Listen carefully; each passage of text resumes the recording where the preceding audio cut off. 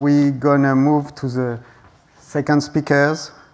We, this is uh, Jord Uwiller, is that right? Um, from uh, Basel University. Dear organizers, dear ladies and gentlemen, it's a great pleasure for me to be here. Thank you very much for the invitation to this exciting meeting. Today I would like to speak about strategies which we use at the University of Basel to characterize and optimize the pharmacokinetic properties of nanoparticulate drug delivery systems.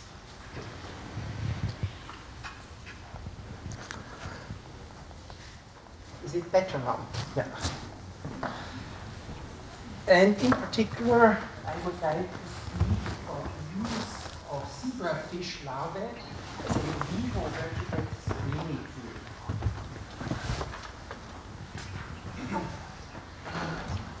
So in preclinical development and in clinical research, we are increasingly confronted with a variety of new nanotherapeutics this includes viral vectors delivery, lipid-based systems such as liposomes, LNPs for gene therapy, polymer-based nanoparticles, and inorganic, ah, this is a good one. and inorganic nanoparticles for diagnostic purposes or technical applications.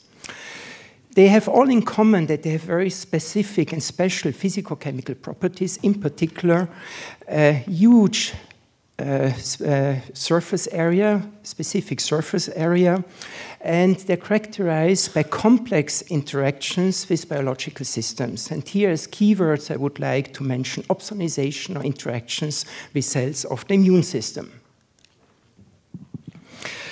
This makes it extremely difficult to extrapolate from frequently used cell culture models, cell based test systems, to in vivo test systems, to higher animals such as rodents or second tox species, and ultimately to the human being, that means volunteers in clinical trials. Now, in this project, our goal was to use zebrafish larvae as a vertebrate screening model to bridge the gap between the in vitro and the in vivo world. Why zebrafish? Zebrafish is a small tropical freshwater fish. It is characterized by a rapid development of the embryo from the fertilized egg to a small larvae within three days. The larvae, which are hatching from the small eggs, have a size of about one to two millimeters. They're very small and they're transparent, which amends them to analysis by optical methods. These small larvae are fully developed small organisms. They have a fully developed nervous system. They have a fully established blood brain barrier, for example. They have a closed uh, vascular system. They have functioning pronephrons, the analogs of the kidneys and they're frequently used in development biology and toxicology as test animals. And for these reasons, there are tens of thousands of different transgenic fish strains or mutant fish lines which can be used in research. From a regulatory point of view, these small organisms have a regulatory status of a cell culture model because they're not yet considered to be uh, autonomous animals. With respect to the vasculature and the transgenic animals, I have here an example of a transgenic animal which expresses GFP in the vasculature. We have here the small beating heart, and we have the blood which flows through the artery, and we have here in the tail region the dorsal artery, and which drains back through the cardinal vein. We have here the intersegmental vessels, and we have here the anastomotic blood vessels. So looking at the, pale, at the tail, the blood comes from the heart, flows through the artery, and then returns back to the heart through the veins, here to the venous system.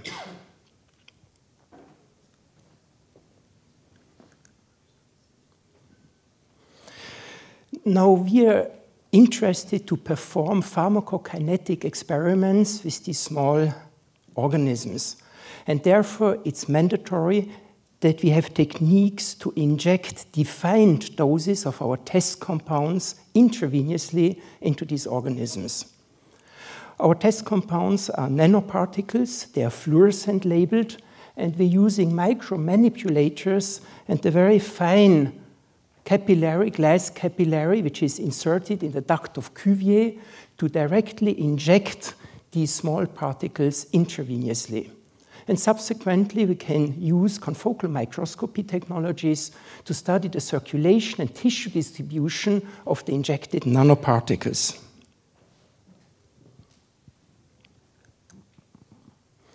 I would like to show you a first example on how we are using this technology. And here we have tested homologous series of liposomes, which were fluorescent labeled.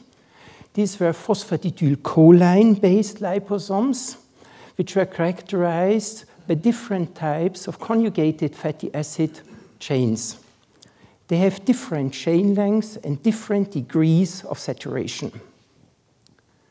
They all had the same size of about 100 nanometers, a polydispersity index below 0.2, so they are monodisperse. They have a very similar, slightly negative zeta potential.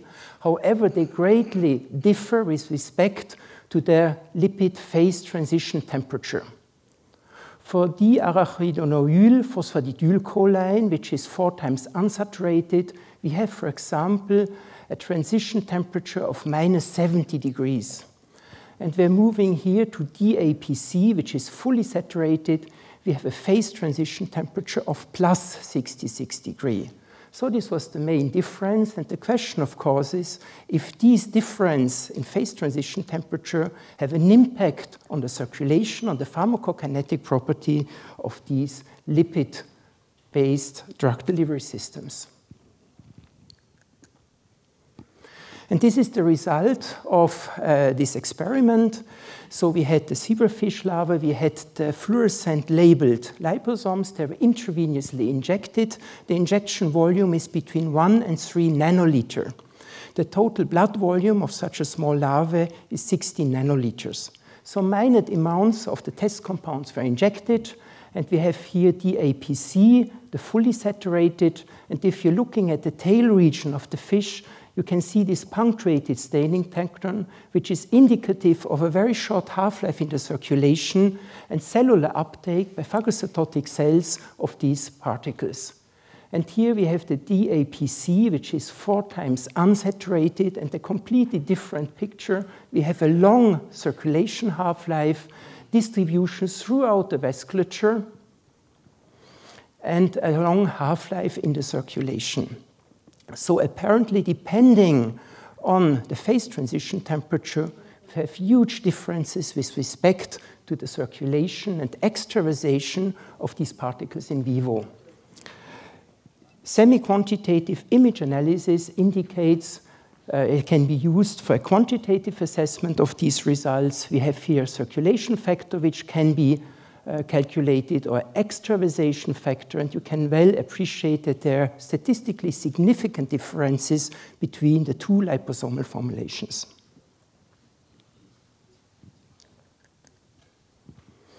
Now, can we extrapolate from the zebrafish to higher vertebrates? Yes, this is possible. Here we performed series of experiments, pharmacokinetic experiments in the rat. with again our 2 DAPC-based liposomal formulation with the low phase transition temperatures for the flexible membrane, and here the DAPC with the high phase transition temperature, the rigid particles. A long half-life in the circulation, a high AUC, a small clearance of this preparation, and as we have observed it in the zebrafish, in an analogous way, here a short half-life, a high clearance of these more rigid particles with a high phase transition temperature. So we fully confirm in the rat the results which we have observed in the zebrafish. The differences with respect to T half and AUC are more than five-fold between these two liposomal preparations. Now we have seen in these experiments that nanoparticulate systems have a tendency to be taken up by cells of the reticuloendothelial system, tissue-resident macrophages, or scavenger endothelial cells. In higher vertebrates, these cells are located in the liver, in the liver sinusoids, uh, and they are comprised of Kupffer cells, tissue-resident macrophages, and the mentioned scavenger endothelial cells. Now in the teleost, the anatomy is slightly different. These cells of the reticuloendothelial system are located in the tail region of the fish in the cardinal vein. And as a consequence, if we have cellular uptake, as we have seen in the previous slides, we have accumulation of our nanoparticles here in the cardinal vein, in the tail region of the fish. Now, in this experiment, we used the transgenic fish line, which expresses GFP in the macrophages. So these are the green cells, and two types of liposomal formulations were DII labeled red and were intravenously injected. We have liposomes which are decorated with PEX 350, uh, incomplete steric stabilization, and here the counterpart, sterically, fully sterically stabilized liposomes. As you can appreciate, the partially protected pegylated liposomes with the short PEG chain accumulate in the macrophages. We have a very nice co-localization, whereas the fully sterically stabilized liposomes have a long half-life in the circulation and escape the phagocytotic process by the macrophages. Now, what about the scavenger endothelial cells? The scavenger endothelial cells located in the liver sinusoids have a tendency to take up negatively charged nanoparticles. This is mediated by interactions with scavenger receptors of the stabilin family. We distinguish between stabilin 1 and stabilin 2. Ambisone is a lipid formulation of amphotericin we have negatively charged particle, and these particles are known to interact and to be taken up by cells of the reticuloendothelial system, by these scavenger endothelial cells. So let's see how they perform in the zebrafish model, and let's see if we have similar interactions also in our model. So fluorescent labeled ambisone was injected intravenously in the zebrafish, and these are experiments which were uh, Äh, done in collaboration with our partners at the University of Leiden. So they had the lead. This is the laboratory of Professor Alexander Groß. After injection, we have again this particulate staining pattern. We have cellular uptake of our particles. And we can now inhibit the cellular interaction by co-injection of dextrane sulfate, which binds to stabilin 2 and competes for binding of these small particles. And as you can appreciate, this particular staining pattern disappears under these conditions. A second control, these are recombinant fish, uh, where step two is knocked out. And here again, if we inject our fluorescent labeled ambisome into these fish, we abolish this punctuated staining pattern. Interaction with the scavenger endothelial cell is disturbed and reduced. Here, another set of controls. In these experiments, we injected negatively charged liposomes, which were uh, uh, loaded with chlorogenic acid, which is a cytotoxic agent, they accumulate at the level of the cardinal vein, which leads to eradication of the endothelial cells and the macrophages in this region of the tail. And this can be appreciated here in these pictures. So we can poison specifically by targeting these negatively charged liposomes to this specific part of the vascular system.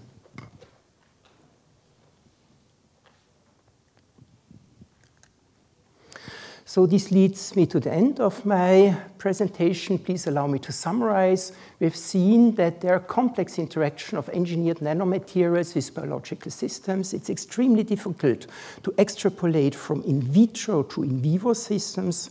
However, we are convinced that our zebrafish model is a valid and very predictive model to gap the bridge between the in vitro and the in vivo world.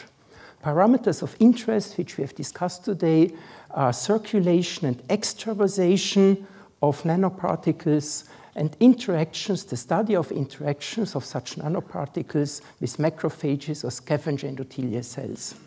So I thank you very much for your attention.